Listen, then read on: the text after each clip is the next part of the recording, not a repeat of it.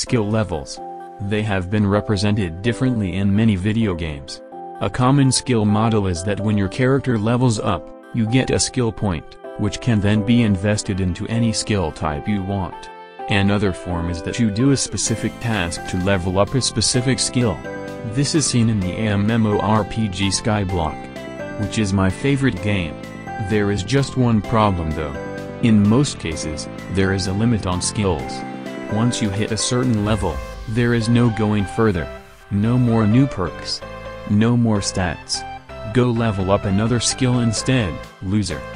But for most people, they simply do not stop. They go above and beyond on skills. So who are these people who simply enjoy skill grinding too much to quit? Today, we will take a look at the barely mentioned people who go beyond level 50 skills. Carpentry. The act of crafting items. The more resource-intensive the craft, the more carpentry experience you get. Carpentry levels give you access to craft cosmetic items. TLDR. Nothing useful at all. So why do people go for carpentry experience? The answer is I do not know. I guess we will never know. The preferred method of achieving carpentry is to craft tier 12 perfect armor chestplates. Which explains this. Then you just repeat these steps infinitely. This is basically what a guy called Kafir101 Awesome did. You have probably heard of him. A lot.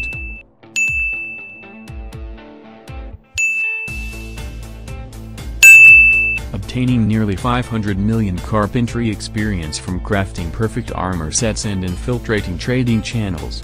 Unfortunately, he has been banned for reasons related to his advertising script and game. Unfortunately as well, his relentless advertising does not cut it for the number one carpentry spot. The user who goes by Traptrap has 900 million carpentry experience. Who knows the ungodly amount of perfect armor sets he has crafted? And what he did with them.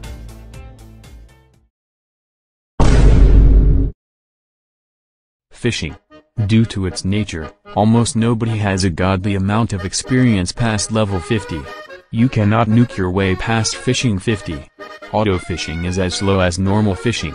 Due to these reasons, you cannot really get anywhere with fishing. Combat. The process of causing an alive object to become dead. This theme is normalized in many Skyblock aspects. Slayer. Ghast farming, before it was patched. Okay that is basically it. So when you do these for a prolonged period of time, you will obtain massive amounts of combat experience, even if you are already combat 50. This happened to the player Owo Panda. With over 1 million ghasts destroyed, as well as 7 million Slayer experience, amassing a total of 180 million combat experience. And now for the player with the most combat experience. Hard ZZZ. With 2.5 million ghasts obliterated. To put this into perspective, the population of Namibia the African country is 2.5 million. Now imagine they all turned into ghasts. Then Hard ZZ destroyed Namibia. And that's how he got 250 million combat experience. Farming. A relatively easy skill to level. All you need to do is build the farms and you're good to go.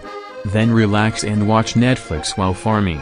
However, some people enjoy this too much, and decide to continue farming past farming 50. Here is a quick rundown of the aforementioned type of people. Caper. And Queen Chrissy. And Just Mining. And Technoblade.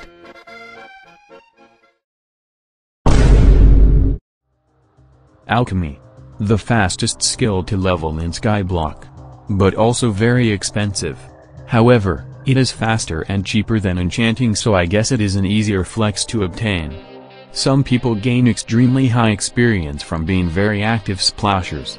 Some people just dump stacks of enchanted sugar cane on their brewing stands. Some dip their toes in the art of brewing potions. Some go all in.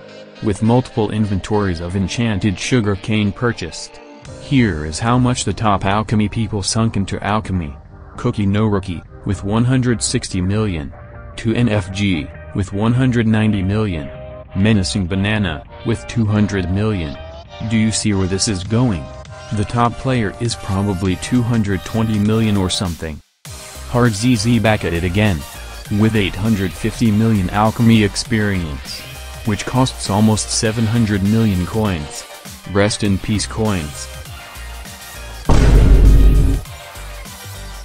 Foraging. It sounds fun at first, but once you dive deeper, it is an absolute nightmare. You have to deal with angry people who got their trees stolen. And people who steal trees. Now take those two and deal with one of each every hour. Most people stop foraging after foraging 50, which is quite logical as foraging does not make that much money and foraging is very annoying. However, some people don't think that way. Who are these people? Let's take a look. Epic Sage. With 60 million experience. Shifty EXE. With a 9-digit number. And Forager Jade. With a number equivalent to 160 million experience. Which is around 300 hours of foraging. You would think that this is peak evolution. Who would ever forage for more than 300 hours? Is this a rhetorical question? No. The answer to that is I envy you. With over 230 million foraging XP. Whereas Forager Jade had moved on to other things, I envy you had stayed true to the trees. Rest in peace trees I guess.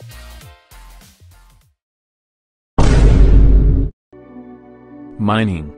It is a pain to do it if you plan on staying as a legit player. But once you become a nuker, everything is a breeze.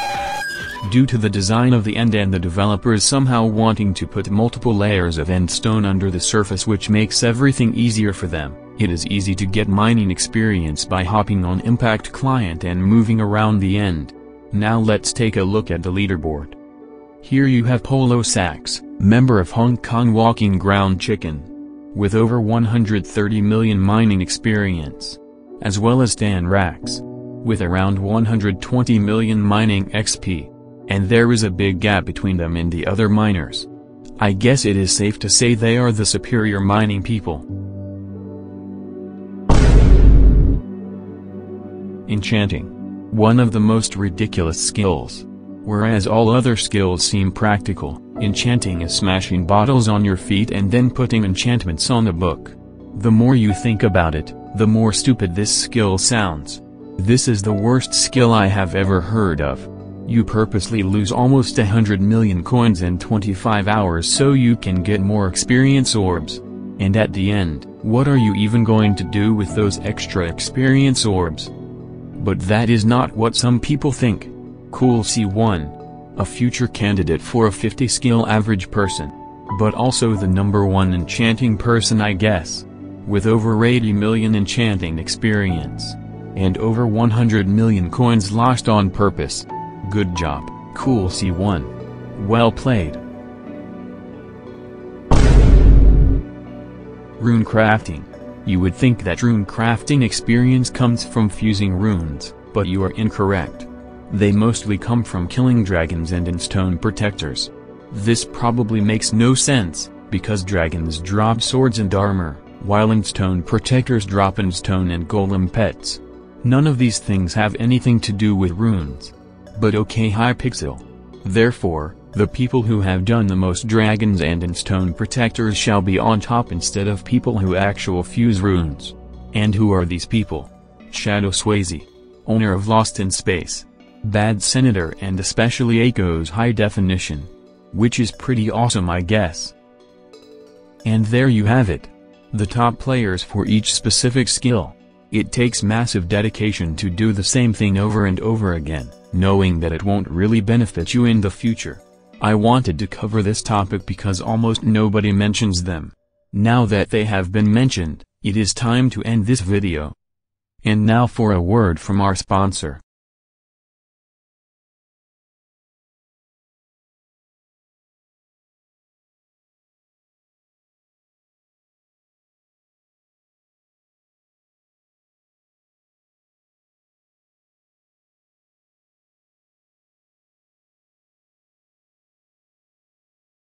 Do you dislike wasting money unlike these clown losers? Well you are in for a treat. I go by lots of names. I swear to God if you say bald splashes one more time. No. Today we won't be talking about joining Bald Splashes. Bald Splashes. We'll join you. Wait. No. What the f- Join Bald Splashes. Pay 1.5 million coins every week for over 200 splashes every week. Or 12.5 every month for over 400 splashes per week. And a custom voice channel. No. This is not happening again. That's it boys. We will take him to the Bald Splashes hater box. No. Not the bald splashes hater box. No oh oh oh oh oh oh oh oh. oh.